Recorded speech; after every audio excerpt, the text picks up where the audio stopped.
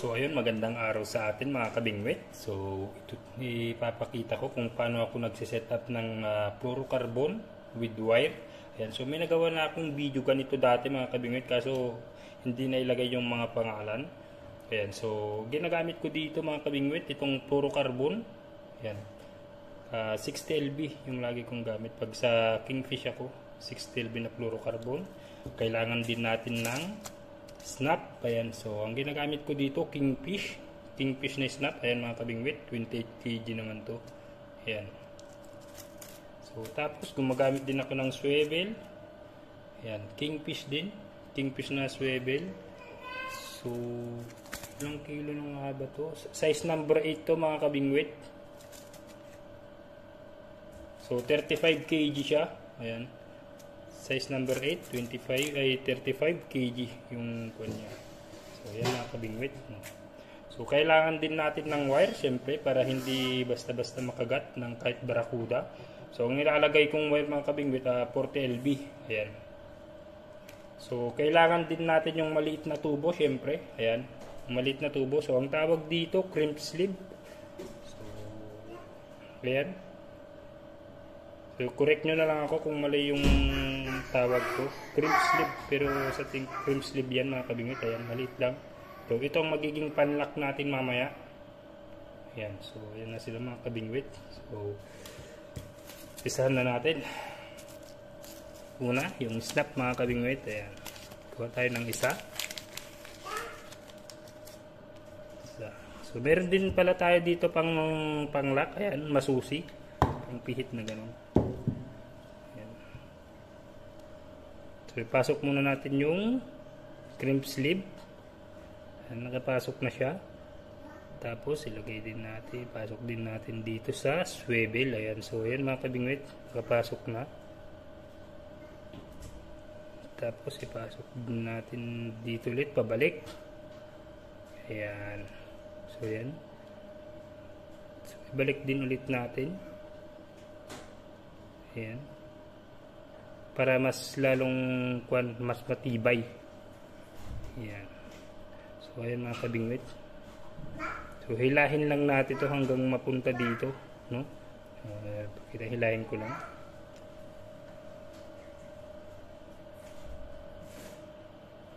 So ayan na siya mga kabingwit. Ayan. Hindi malabo. So ayan na siya. Okay. Hmm, yan na. Yan. So, ilak na lang natin siya. Ayan. Uh -huh. So, yun. Nag-iingay yung bibingwit. Ayan lang kabingwit. Hmm. Nakalak na yan. Isa pa para tumibay-tibay. Ayan siya. Yes, baby. Don't go outside, ha? Ayan. So, ayan mga kabingwit. Matibay na yan. So, kahit ilang kilo ang humatak dyan, hindi yan mahuhugot. Ayan. So, sa isa naman, yung ilagay naman natin yung swivel. So, kailangan natin dito ng dalawa. Dalawa yung nilalagay kong swivel mga kabingwit. So, yung isa papakita ko kung saan ikakabit mamaya. Ayan. Ayan na yung swivel natin, dalawa. So, ipapasok ulit natin to itong crimp sleeve. Ayan. Nakapasok na. Doon naman sa swivel mga kabingwit. Pasok din natin. Ayan. So, maganyan lang siguro. Maliit lang tayo. Mga isang dangkal lang putulin natin. So ayan, mga isang dangkal lang yan mga kabingwit. So ganun, eh, ganun din. Uh, yung ginawa natin kanina sa snap, uh, gagawin din natin dito, no?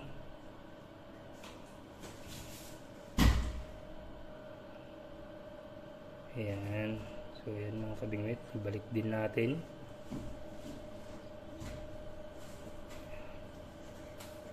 Wala. So, ayan na siya. So, hilain ulit natin sa mga kabingwit.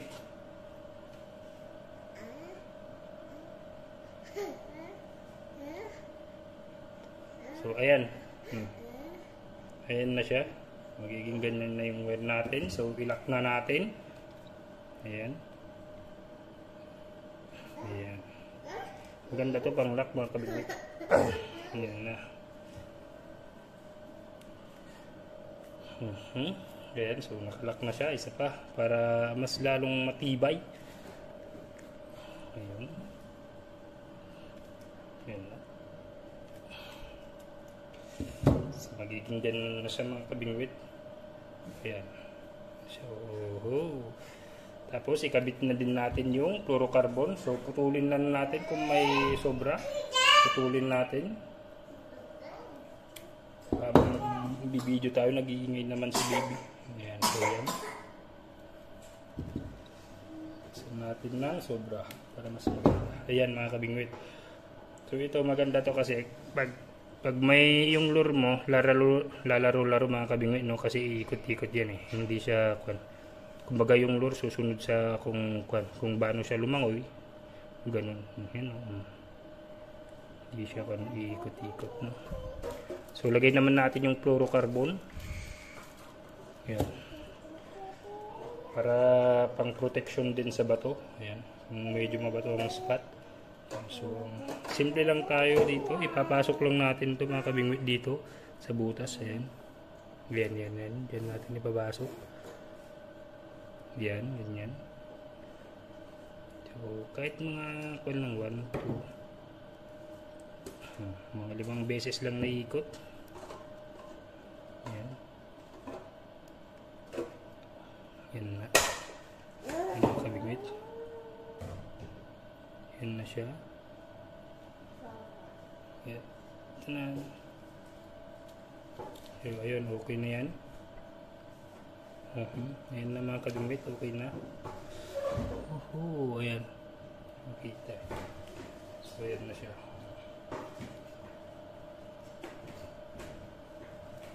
Ayan na. So, may sobra, putulin ulit natin, no? Ayan, no? May sobra, ayan. Cut natin.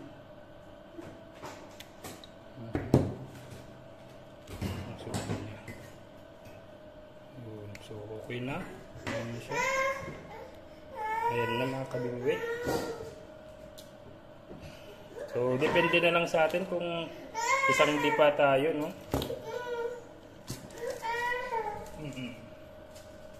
Yan.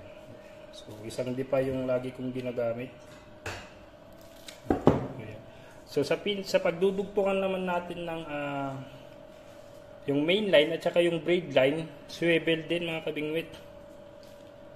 So, lahat ng videos ko na paano yung pinang pinangaangat ko ng tarigi, laging ganito yung setup ko. Yan. Ayan. Yung swivel, dugtong natin sa, kuan ulit, sa fluoro. Yan. One, two, three. Kahit tatlong ikot lang yan, matibay na yan. Ayan mga kabingwit.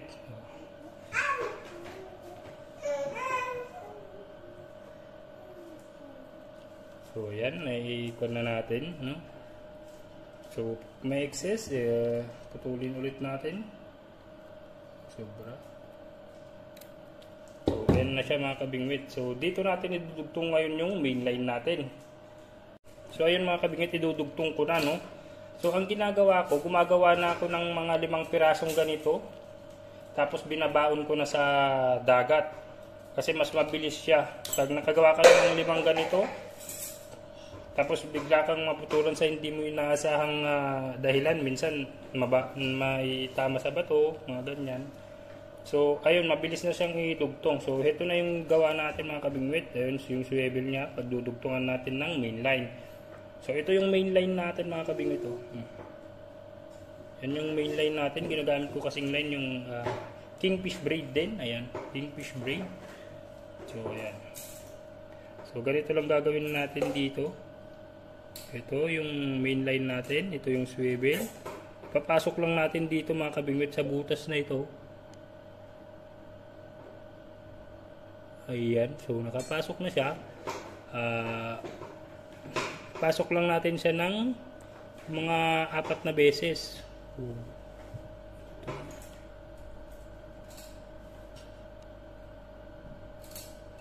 Ayan.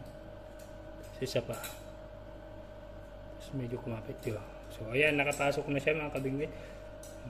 Ayan. So, binalik-balik ko lang. Depende lang sa'yo kung ilang pasok ang gusto mo. So, ang pinanglalak ko dito mga kabingwit, uh, parang silo lang. Ayan. So, ayan, lalagyan ko siya ng kung dito. Bubuholan kasi dito. Ayan. Ayan mga kabingwit. So, ayun yung magiging lock niya yun mamaya. Ayan. Mga hanggang ang ilang beses na kanto. Ayan. Ayan. Makikita, ayun na yung lock niya mga kabingwit. Ayan na yung bukol na yun. Hindi mo nakakita pa eh. Mamaya pag medyo malaki na.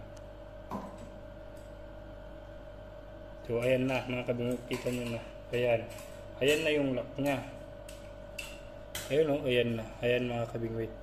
Ayan na magiging lock niyan. So tapos kung itali natin ganito lang yan. Ayan. Ayan na. So ayan. Tapos pasok lang natin dito.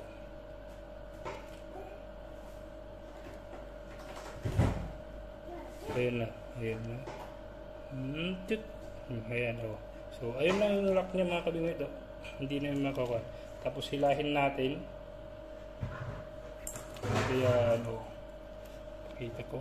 Ayan mga kabingwit ang itsura niya. Ayan oh. Hmm. Tapos kung may sobrang ganyan, yung mga ito, para magkaroon din ng lock, papasukin natin mga kabingwit, no? So ayun mga kabingwit, yan. Uh, papasukin natin siya, no? Para magkaroon ng ito yun. So ayos na. So yung nagdugan, nagdugtungan din yung sobra nung sa sa swivel at saka kung, kung may sobrang ganyan, lagyan lang, lang natin ng lock. Uh, pasuin lang natin din. Kunti. Hmm, so, ayun. So, ayan, magkagiging. Ayan na. Hmm, ganda na mga kabingwit. Tibay na yan. Tapos dun sa baba, ganun din gagawin natin. Wow, I will open. Hmm, so, ayan mga kabingwit. May excess din siya. Ayan. So, suin din natin. Ayan. So, ayan mga kabingwit. Okay na yung gawa natin. Ayan. Ayan, hanggang sa swivel. So, nagiiyak na itong alaga ko. Ayan. Ayan na siya. So, ganda nito. Lalaro-laro talaga yung lure pag dito ginamit. So, ayan mga kabingwit. So, ayan mga kabingwit yung nagawa na natin. May dugtong, no? So, ayan. Baba. Kung gusto natin magbaon, ikot-ikot mo lang ganyan. Mabilis lang naman ito eh. Pag gumawa ka, ayan. Yung lima, ganun. Ayan. So, ayan, no? Hmm, okay na. Kumbaga, may baon ka na. Hmm mabilis siyang idugtong pag, na pag nagawa mo na. Diba? Ayan, may baon na. So, ayan mga kabingwit. So, ayan, maraming maraming salamat sa sumusuporta sa aking channel. Thank you, thank you mga kabingwit. Sana patuloy niyo pa rin akong suportahan. Ayan.